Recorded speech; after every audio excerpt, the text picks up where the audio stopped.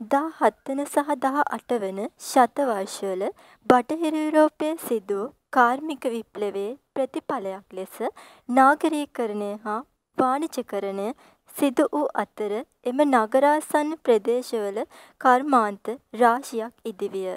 මෙම කර්මාන්ත ආශ්‍රිතව රැකියා අරමුණු කොටගත් අතිවිශාල ජනකායක් නිර්මාණය විය. මිනිස් ක්‍රියාකාරීත්වයන් හේතුවෙන් පරිසර පද්ධතීන්හි ස්ථාවරභාවය වියවුල් වන අතරම ඒවා වෙනස් වීම්වලටද ලක්වෙයි. මේ හැරෙන්නට මිහිතලය මත වූ සමස්ත වනවැස්ම වසර දහස් ගණනක් පුරා සුළි කුණාටු, ගං වතුර, ලැව් ගිනි වැනි ස්වභාවික ව්‍යසනයන්ට මුහුණ දෙමින් ස්වභාව දහමේ ජීව රිද්මය පවත්වාගෙන ලැබුවේද වෙයි. නාගරීකරණය තුළ වනගහනය තුරන් වීම පරිසර පද්ධතිය තුළ ශක්තිය සහ ජලය චක්‍රීයකරණය වීමේ ස්වභාවික රටාව උඩුයටු කරවී තිබේ. එහි ඍජු ප්‍රතිඵලයක් ලෙසින් නාගරික ප්‍රදේශයන්හි දෛනික උෂ්ණත්වය ඉහළ ගොස් තිබේ. ස්වභාවික පරිසරය, සමාජ පරිසරය, භෞතික පරිසරය එකිනෙකට ගැටීම සමාජ පරිණාම ක්‍රියාවලියක් නමුත් එකී ගැටීම හේතුවෙන් ස්වභාවික පරිසරය බරපතල ලෙස අනතුරට ලක්වේ. එය සමාජ පරිසරයටත් ගොඩනගාගත් භෞතික පරිසරයටත් අහිතකර ලෙස බලපානු ඇත.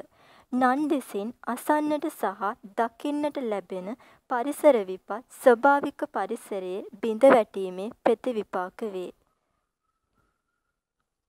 කාර්මික ජනපද, කාර්මික පුර, ආර්ථික මධ්‍යස්ථාන, බහුකාර්මික ප්‍රදේශ, වෙළඳ කලාප හා නිවාස යෝජනා ක්‍රම රටකට අවශ්‍ය වුවත් නිසි කළමනාකරණයකින් තොරව ඒවායේ ඇති දූෂිත පරිසරය මානව ජීවිතය බිලි ගනිමින් පවතී.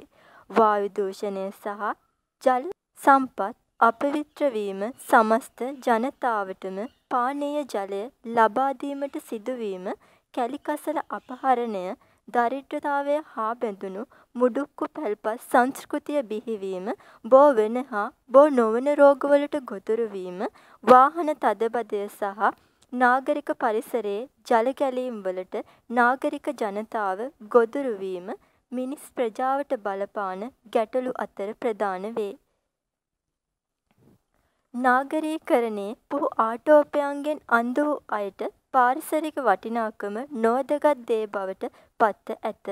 එහෙත් නාගරීකරණයෙන් හෙම්බත් වී එම කෘත්‍රිම පරිසරය ප්‍රතික්ෂේප කරන පිරිසක් ලොව පුරා දියුණු නගර ආශ්‍රිතව වෙසෙති.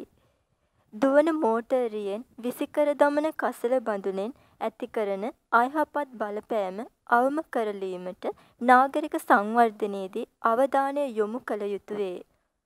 ශාරීරික වශයෙන් රෝග ගණනාවක් අයහපත් නාගරික පරිසරය හේතුවෙන් ජනතාව අතර ව්‍යාප්ත වී පවතී. නාගරික ප්‍රදේශවල වෙසෙන ජනතාව ජනගහන වර්ධනයත් සමග මුහුණ දෙන ගැටලු පිළිබඳ අවධානය යොමු කිරීමේදී අප විසින් නාගරික ප්‍රදේශවාසී කාන්තාවකගෙන් අදහස් විමසුවෙමු. ප්‍රදේශයන්වල ජනගහනය වැඩිවීම නිසා ඒ ප්‍රදේශ ආශ්‍රිතව සිදු වෙලා තියෙන ගැටලුකාරී තත්ත්වයන් සහ වෙනස්කම් ගැන පොඩ්ඩක් කතා කරන්න පුළුවන්ද? වෙනත් ප්‍රදේශවලින් මිනිස්සු ඇවිල්ලා නාගරික ප්‍රදේශවල පදිංචි වෙනවා. එයා එයාලගේ අවශ්‍යතා ඉටු කරන්න විවිධ ගොඩනැගිලි ඉදිරියලා තියෙනවා. ඒක නිසා නාගරික ප්‍රදේශවල ගොඩනැගිලි පරිසරයක් නිර්මාණය වෙලා තියෙනවා ගහකොළ අඩුයි. ඒ නිසා උෂ්ණත්වය වැඩි. මිනිස්සු ඒක පාලනය කරන්න AC ෆෑන් දාගෙන ඉන්නවා. ස්වභාවික පරිසරයේ අපූර්වත්වය වියැකී ගොස් නාගරික සමාජය තුළ ජනගහනය වර්ධනය හේතුවෙන් විවිධ සමාජ ගැටලු අවම කරවා අනාගත පරපුරටද ස්වභාව ධර්මයාගේ ආස්වාදය විඳින්නට ලබා දීමට ක්‍රියා කිරීම අප කාගේත් යුතුකමකි.